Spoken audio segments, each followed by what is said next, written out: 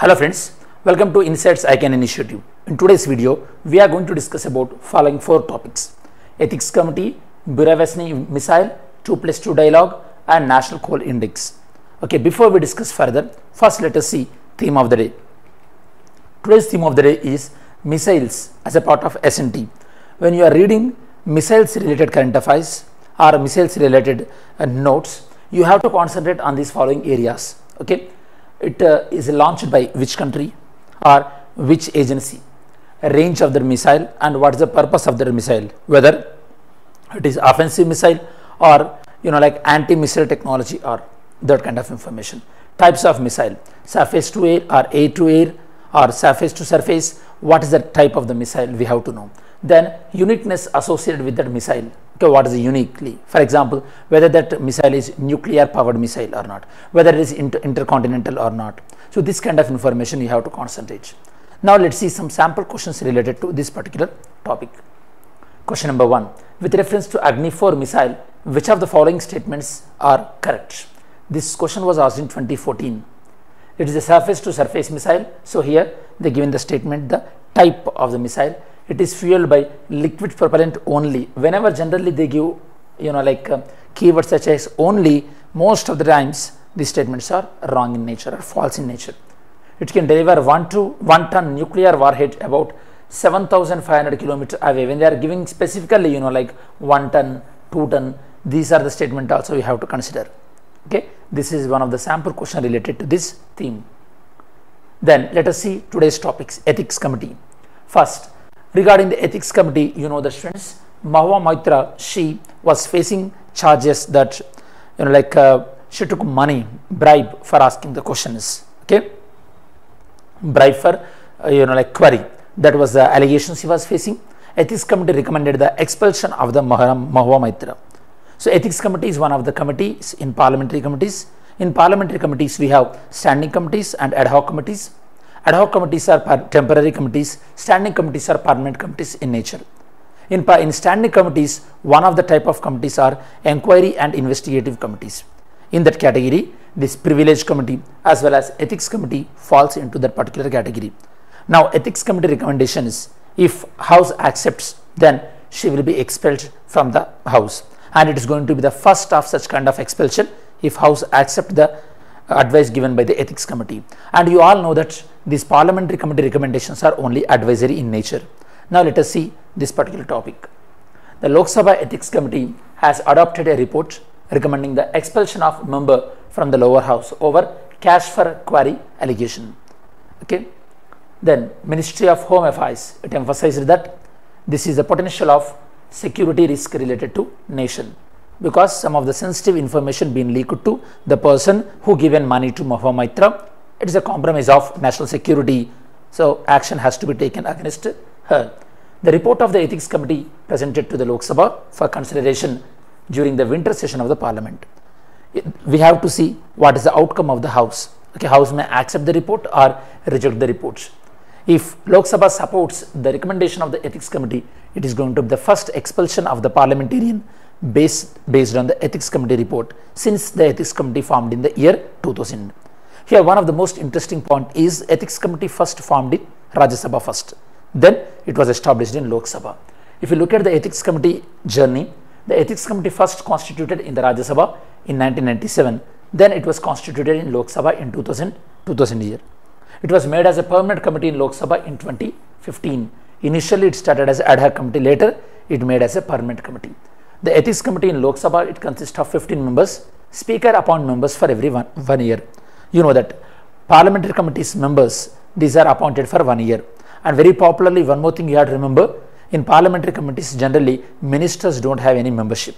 Because parliamentary committees are instrument through which legislature can ensure the accountability of the executive. The parliamentary role, so the primary role of the ethics committee is it will check and maintain the moral and ethical conduct of the members. It examines cases of misconduct referred to that particular committee. And the appointment of members in Lok Sabha. In Lok Sabha, ethics committee members are appointed through speaker appointment and they are appointed for one year, like I said earlier. So this is the issue number one, ethics committee regarding the Mahua Moitra. Now the second topic is related to SNT. This particular one is about SSC X9 Skyfall Burevensk, Bu, Buvensnik. Okay, so Buvensnik, some other silent words, don't worry, these Russian names, you know, very difficult to pronounce, you know, the Buvensk. Okay, so what is the specialty of this particular missile? The specialty of this missile is first is a cruise missile. You know, the students, I explained a couple of times cruise missiles as well as the ballistic missiles. Tell me, students, which will which which will work based on the rocket technology whether it is a cruise missile or the ballistic missiles. Okay pause the video and put your answer in the comment section. Now let me let me tell you. Ballistic missiles will deploy rocket technology. So it it it, it contains you know, like oxygen within itself. Because these ballistic missiles they go out of the earth surface and they come back. When they are out of the earth surface obviously they require the oxygen. So they carry the oxygen uh, storage whereas the ballistic these cruise missiles they travel within earth atmosphere. They take oxygen from atmosphere and they contain the jet engine technology. That is the difference between the this you know like uh, cruise techno cruise missiles as well as the ballistic missiles. Actually cruise missiles they also come up with the technology of fire and forget. They can do maneuver according to the target so cruise missiles are more advanced in terms of the targeting whereas ballistic missiles are more advanced in terms of the distance through ballistic missiles even you can target other continent as well. This is the cruise missile powered by nuclear engine. So obviously when something is powered by nuclear engine means it is having more capability. Its capacity also enhanced. Now let's see. Vladimir Putin announced the Russia's Russia's Buravensk missile. It is to be intercontinental range nuclear powered cruise missile. Intercontinental generally intercontinental type of missiles will be ballistic missiles. But here cruise missiles they reach to the range of intercontinental because it is having this nuclear powered so they can travel very long distance. They penetrate interceptor based missile defense system so they can penetrate like S-400 kind of missile defense system of other countries. So it enhances the Russia's nuclear strike capability. It is very significant in the context of Russia's ongoing war with the Ukraine and Ukraine got getting support from European Union. Recently, European Union started, I mean, started talks with the Ukraine. You know that the unlimited range. It means it can fly for extended period without running out of the fuel because this nuclear energy give very continuous fuel because it works on the nuclear fission development. It is developed as a part of the intercontinental ballistic missile program of the USSR. This program actually in response to USSR, I mean USA's Star Wars program. It is one of the USA's defense program which was started in response to USSR during the Cold War time. The goal of this missile was to create and bypass ballistic missile defenses because most of the defenses are designed to stop the ballistic missile. So that is the reason now they developed alternative one that is a cruise missile. Trials.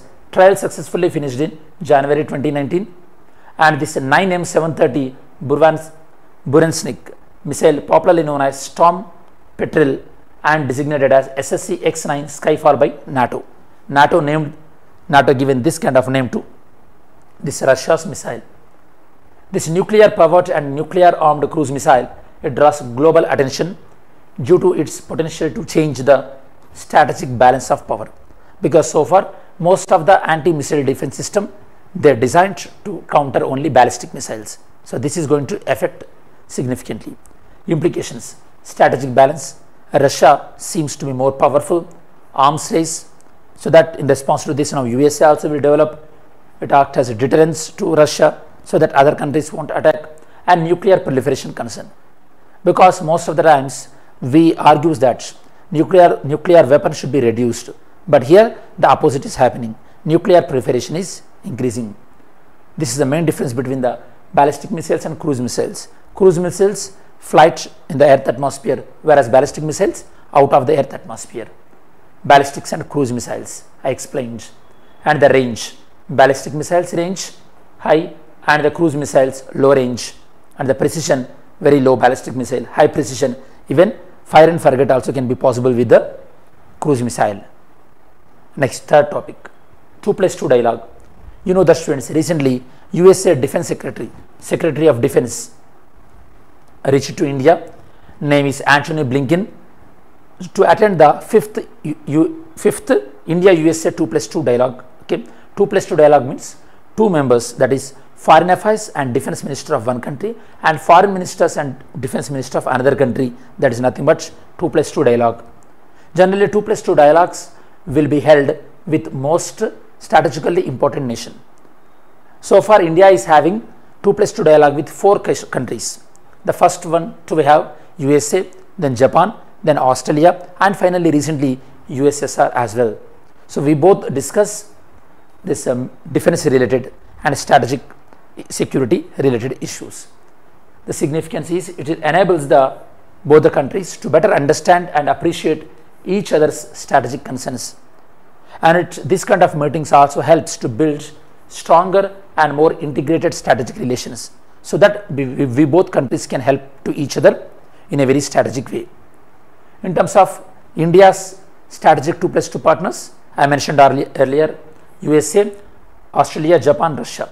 Except Russia, rest of the all three countries are partners of India in two place in uh, know like Quads as well as Malabar Navy exercise. Outcomes of the previous two, 2 plus 2 dialogue.